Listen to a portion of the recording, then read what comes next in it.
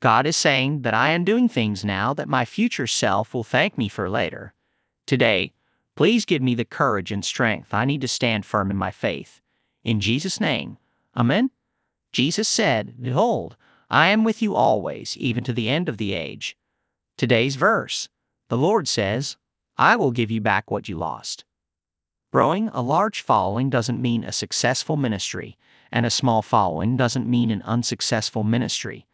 Only ministry done in spirit and truth for God's glory alone is a successful one.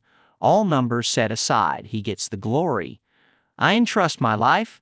Thank you, Jesus. If you receive it, type, Lord, I trust you. Amen. You are loved, and always remember that you matter. Romans 5 to 8. But God shows His great love for us in this. While we were still sinners, Christ died for us. Pray until your situation changes.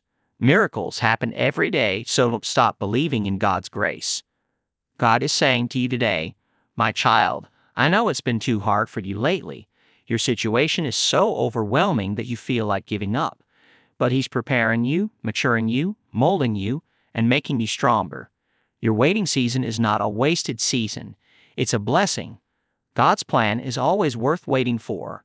Whatever you do, work at it with all your heart, as working for the Lord, not for human masters. You are my rock and my redeemer. Amen. Great is our Lord and mighty in power. His understanding has no limit. I need God as desperately as I did on my worst day. I know my story is going to have a happy ending. God's got his hand over my life. Sometimes I just look up, smile, and say, I know that was you, God. Thanks for Huh? Know the plans I have for you, declares the Lord plans to prosper you and not to harm you, plans to give you hope and a future. The pain you have been feeling cannot compare to the joy that is coming. Remember that I am always with you until the end of time. God is about to open that door you've been praying for. He has anointed me and clothed me with joy. He is all you could ever need. God, please clear my mind from overthinking I'm so tired. Your feet are about to be planted in the promised land. You're still here, standing strong. The person reading this is going to be financially stable before March 2023. Affirm, yes. God is able to do so much more than we could possibly imagine. Lord, even when I make mistakes and fail, you are still there, telling me to keep going, to rise again. May I walk in faith and in your strength.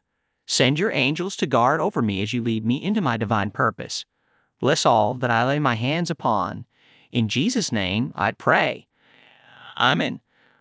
Comment Amen if you needed this prayer. Fear God, He keep His commandments, for this is the duty of all mankind. I will fight your fight, I will hold you tight, and I won't let go. Comment Amen if you believe.